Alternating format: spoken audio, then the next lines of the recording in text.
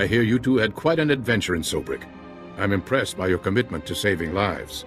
Convincing an Imperial to surrender on his home turf. That's one for the archives. We make a pretty great team. We should do this more often.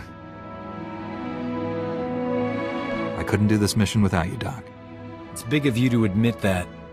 A lot of guys are intimidated by my talents. This is Nicolin Cord, one of the top resistance leaders. He analyzed the data we obtained from Sobrik, found us a lead. One of our spies was captured weeks ago attempting to steal what might be the Empire's cloaking device project. The data revealed where she's being held. Sounds like someone we should talk to. How do we free her? We believe she's inside an Imperial Tactical Operations base. Heavily fortified, protected by a regiment of troops. That's where I come in. Colonel Finley commands the Republic's 5th Expeditionary Force. He's agreed to assist our operation.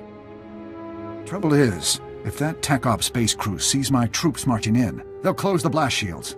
Those shut, there's no getting them open.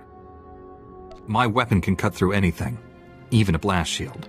No time. If the enemy summons reinforcements while we're stuck outside, we'd be trapped. One of you Jedi could slip inside, disable the blast shields before they close, then the base would be ours. We'd have to distract that Imperial regiment, create an opening. My troops provide quite a distraction. The Resistance must be part of this. Our spy won't talk if I'm not there. I'll escort the Resistance. That leaves you to penetrate the base and deactivate those blast shields ahead of our arrival. Get your forces ready, Colonel. We leave immediately. I can guarantee an enthusiastic response. I'll prepare my forces to move out.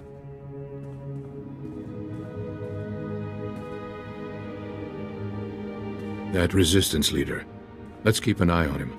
His spy is the key to our victory, and he knows it. Get inside the Empire's base and deactivate those blast shields. We'll be waiting for your signal.